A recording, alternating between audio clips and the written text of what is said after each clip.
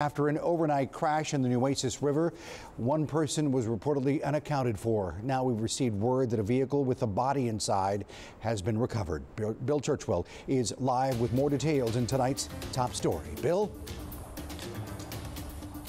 And that vehicle, if you take a look behind me, it's being blocked uh, to our vantage point right now. That vehicle was brought out from the water just moments ago, and CCPD has confirmed that a body was inside that vehicle found upside down in the water, about 12 to 14 feet deep. It has, uh, they attached some flotation devices to it to help bring it up, and then the wrecker service came out here to help as well bring it back on land.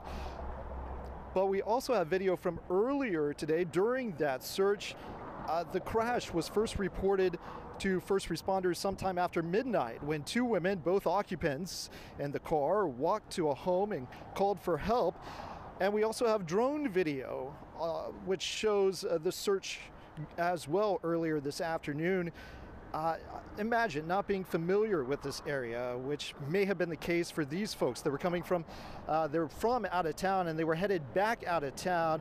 I uh, just spoke to Captain David Cook, who said he believed they were from Sinton, from the Sinton area.